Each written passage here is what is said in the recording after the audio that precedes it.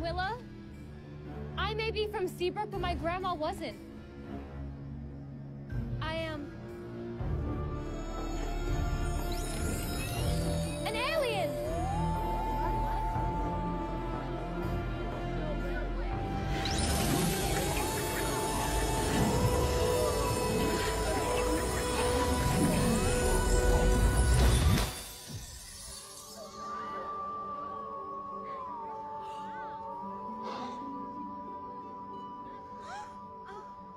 Addison is one of us.